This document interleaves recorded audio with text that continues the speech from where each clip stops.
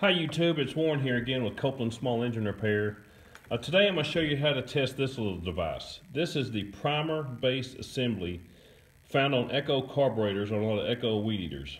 And this thing, you need to test this, make sure it's good. Uh, you can see the primer bulb sits on this side down in this little groove. The other side is mounted directly against the carburetor when it's all put together. And what we have to check are these two little silver discs right here with holes in them. These are check valves and they let fuel flow through them in one direction but not back the other direction. And these go bad all the time. You need to be able to test these and make sure one or both of these check valves isn't stuck open or closed. And I'm going to show you how to do that. First thing you need is a vacuum pressure tester. If you have a small engine repair shop I'm sure you already have one of these. If you don't you need to get one. Uh, these are real handy in testing a lot of things. Carburetors carburetor seals needle and seat seal um, crankcase seals on chainsaws and weed eaters. They're very handy. This one tests vacuum and pressure. Uh, be careful, a lot of them only test vacuum, but this one tests both. I've had it about four years. I got it on eBay, I think about $40 about four years ago, and it still works just like brand new. Uh, one tip, do not get liquid in these. Don't use it for brakes or something with gas or oil and fill it full of any kind of liquid, and it'll probably last forever a lot of people get these and they get them to test the or to bleed their brakes and they get brake fluid in them and it ruins the seals and they get all mad but get you one of these. Also need a doctor stethoscope. I use this stethoscope to hear air leaks and a lot of stuff.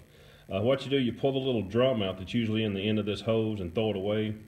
So you just have a stethoscope with an open end hose. Uh, be careful though because this is an open end of the hose uh, you get a lot of air pressure in there and you're going to blow your eardrums right out of your head. So don't be an idiot and injure yourself. Okay, first thing we're going to do, we're going to make sure, uh, this is the primer bulb side, and the way this thing works, pressure goes through this thing, through both of these check valves that way, toward the primer bulb side. So first thing we're going to do is make sure pressure will go through both of these holes, so make sure they're not stopped up. I've got my little pressure vacuum tester here step down to a piece of regular Tygon hose so I can put it up against these things. Put your stethoscope in your ears. I usually just hold one end of this down with the other spigot because I'm listening for air coming out of this one from this check valve. And put that down there. Got this thing set to pressure. Put it on there and you're going to need to hold it down really tight to seal off the air.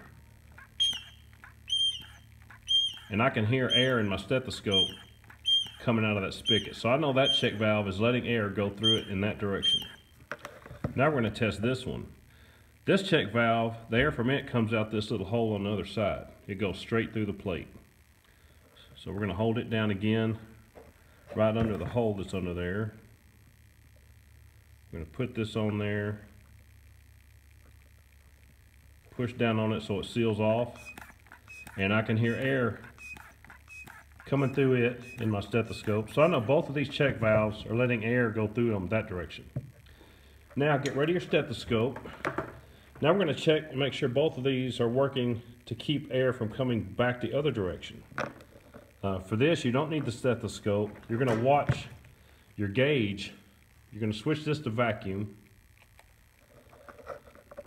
I'll put this over and try to get all this in the picture. You can hold this down over this one really tight and create a vacuum on it. And it's holding vacuum. You can see my needle there is not moving. That check valve is working. It's holding vacuum.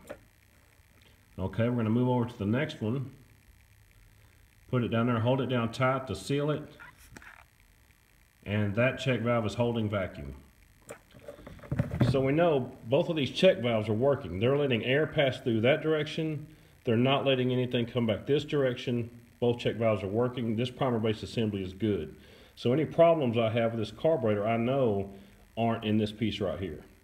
And this piece is 15 to $20 online, depending where you buy it. So it's good to be able to test this thing. But anyway, that's how to test the primer base assembly on an Echo weed eater. Thanks for watching.